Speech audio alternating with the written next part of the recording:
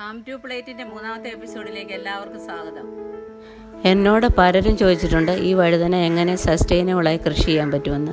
ഇതെങ്ങനെ സസ്റ്റൈനബിളായി കൃഷി ചെയ്യാമെന്നും ടേസ്റ്റി ആയിട്ട് എങ്ങനെ കുക്ക് ചെയ്യാമെന്നും ഇതിന്റെ ഗുണങ്ങളുമാണ് ഞാൻ ഈ വീഡിയോയിൽ പറയുന്നത്.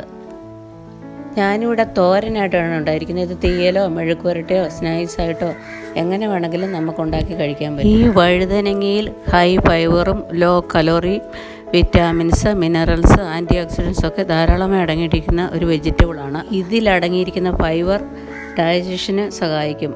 ഡയബറ്റീസ് ഒരു പരിധി വരെ കൺട്രോൾ ചെയ്യാനും ബി പി ലെവൽ സ്റ്റെബിലൈസ് ചെയ്യാനും വെയിറ്റ് ലോസിനും ബോൺ ഹെൽത്തിനുമൊക്കെ നല്ലതാണ്. ഈ വെജിറ്റബിൾസിൽ അയൺ ധാരാളം ഉള്ളതിനാൽ അനീമിയ നിയന്ത്രിക്കാനും ഇമ്മ്യൂണിറ്റി പവറൊക്കെ നിലനിർത്താനും നല്ലതാണ്. ഈ ഈ വഴുതനങ്ങ ഇടയ്ക്കിടെ നമ്മുടെ ആഹാരത്തിൽ ഉൾപ്പെടുത്തി കഴിക്കുന്നത് ആരോഗ്യത്തിന് വളരെ നല്ലതാണ്.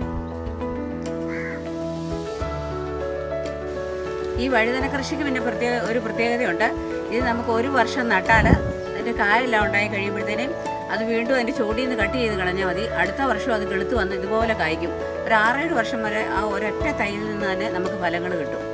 ഇതിനധികം സ്ഥലമൊന്നും ആവശ്യമില്ല. അധികം വളവും വേണ്ട. ഇന്ന് ഞാനൊരു തോരൻ കറിയാണ് വഴുതനങ്ങ കൊണ്ടുണ്ടാക്കുന്നത്. ഇതിനാവശ്യം വഴുതനങ്ങ കട്ട് ചെയ്തെടുക്കട്ടെ. ഈ വഴുതനങ്ങ നന്നായി കഴുകി വെള്ളം നല്ലതുപോലെ പോയതിന് ശേഷം ഒത്തിരി ചെറിയ പീസാക്കണ്ട ഈ ഒരു വലുപ്പത്തിൽ കട്ട് ചെയ്ത് നമുക്ക് വെക്കാം.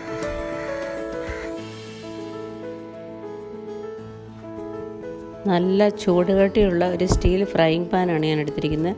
ഇതൊന്ന് ചൂടായ ശേഷം ഇതിലേക്ക് രണ്ട് ടേബിൾ സ്പൂൺ കോക്കനട്ട് ഓയിൽ ഒഴിച്ചു കൊടുക്കുക.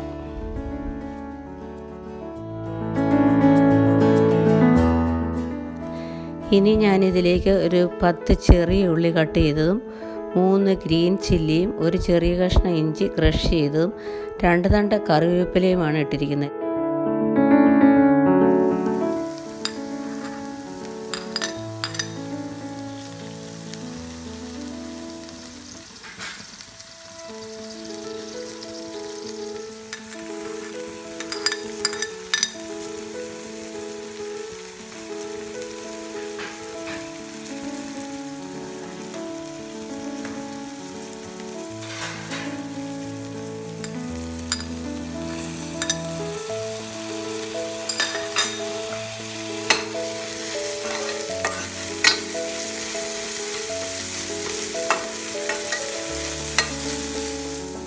ഇനി ഇതിലേക്ക് ഒരു അര ടേബിൾ സ്പൂൺ മഞ്ഞൾപ്പൊടിയും ഒരു തേങ്ങയുടെ പകുതി ചെരുകിയതുമാണ് ഞാൻ ചേർത്തിരിക്കുന്നത്.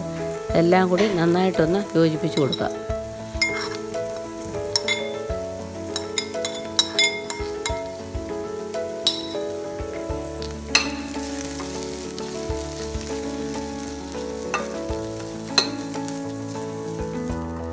ഈ മസാലക്കൂട്ടിലേക്ക് നമ്മൾ കട്ട് ചെയ്ത് വെച്ചിരിക്കുന്ന വഴുതനങ്ങ കൂടി ഇട്ട് നമുക്ക് മിക്സ് ചെയ്യാം.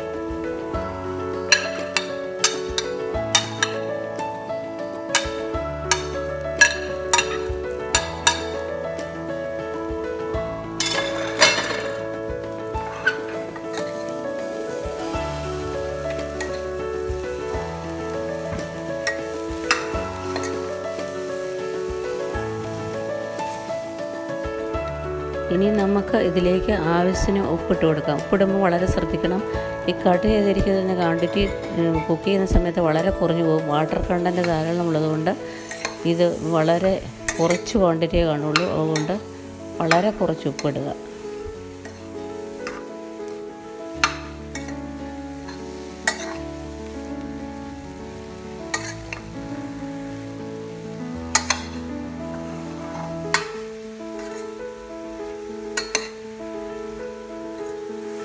ഇനി നമുക്ക് ഈ മസാലയും വഴുതനങ്ങയും ഉപ്പും എല്ലാം കൂടെ ഒന്ന് നന്നായിട്ടൊന്ന് മിക്സ് ചെയ്ത് യോജിപ്പിച്ച് കൊടുക്കണം.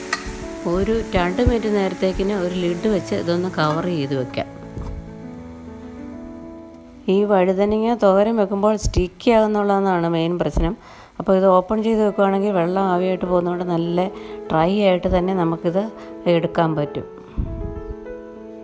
ഇനി ഈ കുക്ക് ചെയ്ത വഴുതനങ്ങ തോരനിലേക്ക് നമുക്കൊരു സ്വല്പം പച്ച വെളിച്ചെണ്ണയോ അല്ലെങ്കിൽ ഇതൊന്ന് കടുക് തളിച്ച് കൊടുത്താൽ വളരെ ടേസ്റ്റി ആയിരിക്കും.